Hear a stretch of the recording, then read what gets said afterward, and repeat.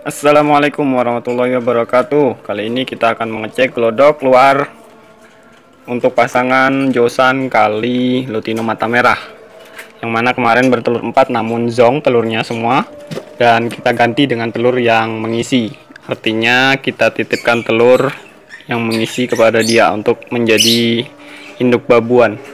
Semoga dengan kita titipkan empat telur ini ke mereka semoga bisa menetas ya.